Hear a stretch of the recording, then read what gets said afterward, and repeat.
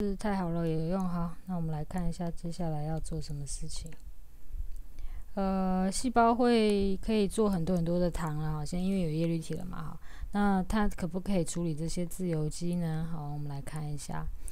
呃，过氧化体可以抓住自由基这件事情，哈。最好的状态之下是当你把你移动你的立腺体跟叶绿体。好，彼此把它两个 away from each other，好，away 就是把它们两个分开哈，所以我们来呃吸收十个自由基，用我们的过氧化体做这件事情。所以现在要做的事情是把它分开，那我们把它让它移动，好，然后让它分开一点，看一下哈，我们要移去哪里呢？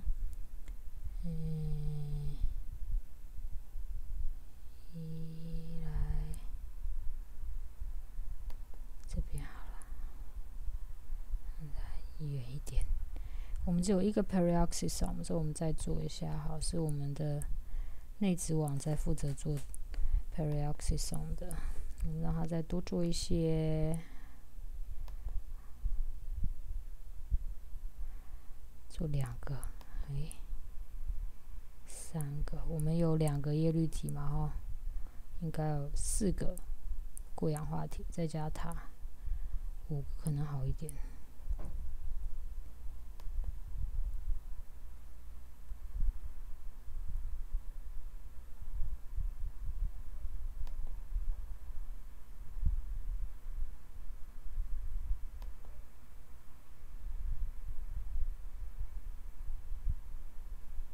哎呀，有了有了有了！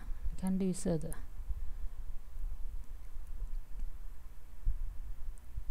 绿色的这个就是，剩下一个自由基哦，OK 了。好，那现在看起来细胞是可以处理这些自由基喽。那这里有一个新的功能哈，我们的内质网可以自动的去做出一个新的过氧化体。那什么时候呢？当一个旧的好，不能再用的时候，因为氧其实一直知道自由基过氧化体也是会坏掉的哈，所以我们来试试看这个功能哈。你我们可以用这个自动建立哈，自动制造过氧化体来维持我们现在的过氧化体的数目，但是呢，一开始我们还是必须要先把它做出来才可以哈。好，那我们来看看这个新的功能，呃。应该是点内置网吧，哈。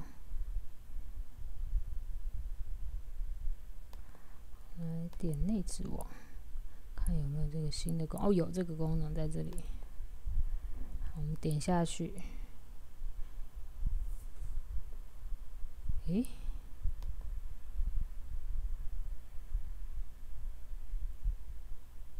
不理我。